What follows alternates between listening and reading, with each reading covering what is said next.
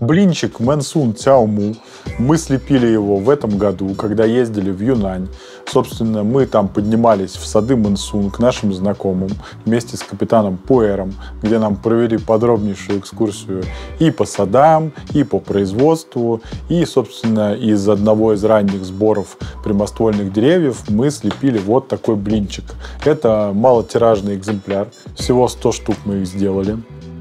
По вкусу он как и свойственно молодым шенпуэром, цветочный, немножко травянистый. В нем интересные есть такие хвойные нотки.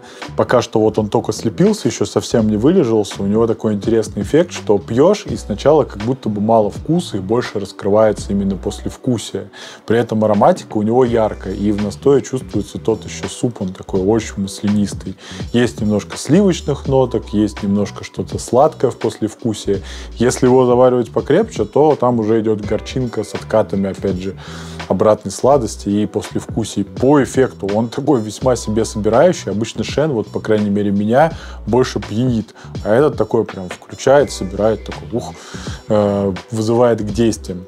Я думаю, что однозначно по мере вылеживания у него пойдет больше компотных ноток, больше именно самого тела вкуса. Но пока он такой именно летний, освежающий, немножко ментоловый и очень хорош, когда его в большой гайване, как вот здесь мы заварили, и быстрым проливом прям проливать.